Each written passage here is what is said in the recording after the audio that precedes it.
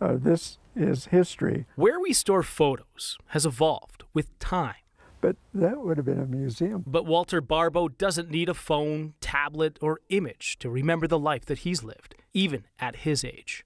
Well, I hate to admit it, but I'm I'm past 98. Walt's memory is picture perfect. I grew up on a little farm, and I recall the farm tractor we had didn't even have rubber tires on the wheels. After nearly a century of time gone by, Walt still remembers moments that changed his life. I grew up in the town of Mount Vernon. I went from Mount Vernon to Seattle and joined the Army Air Corps as an aviation cadet two days after Pearl Harbor.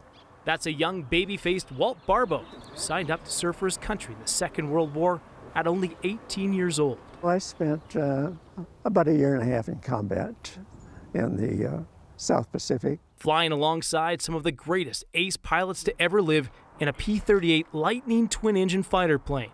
He was there at ground zero when the war finally ended. Uh, this was the uh, initial surrender group. Uh, it was two aircraft. I'm, I'm one of the thousands that appear in this picture.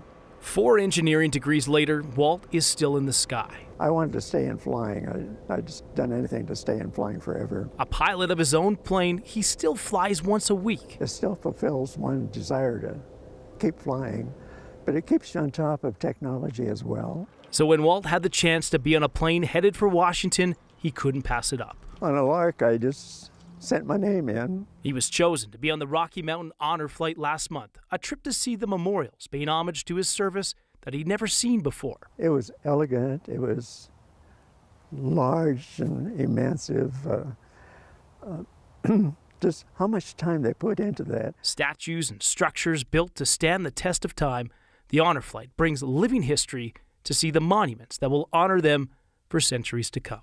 It might be kind of a lasting memory many of them before they're no longer with us. Walt Barbor, what a man.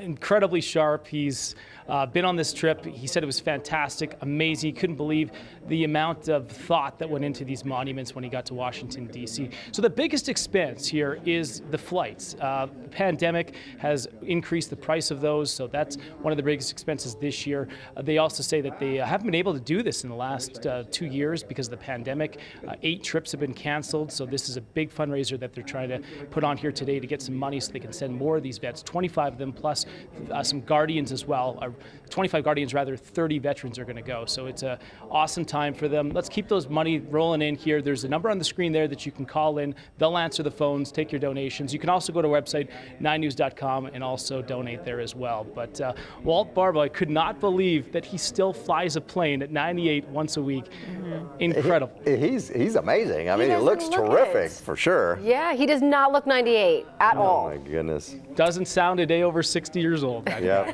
and Jon, you know, I've, I've done some uh, stories on Honor Flight too, and, and those, those veterans that go, they are so humble. They, they, they wouldn't admit that, oh, thank you for sending us, you know, but I mean, they're, they're appreciative but they wouldn't admit that they are heroes, and, and they absolutely are. And, and when you go to the memorials, that's what really comes out.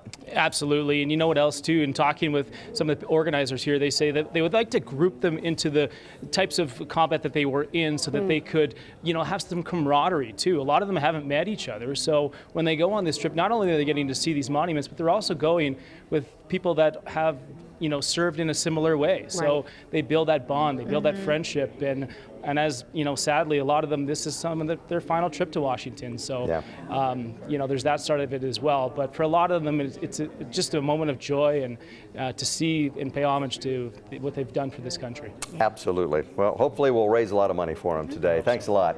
And a reminder, Rocky Mountain Honor Flights is planning trips to Washington, D.C. after, as Jon said, a couple of years off because of COVID. We need your help. They take veterans to see the monuments dedicated to their service, no cost to the vets. You have two options to help. One, you can scan the QR code on the screen right now. That'll take you to the donation page. Or if you like to speak to someone instead, just call the number on your screen, 303 577 2080, and you'll be connected to uh, somebody up there in the phone bank. We will keep the phones on till 7 p.m. tonight.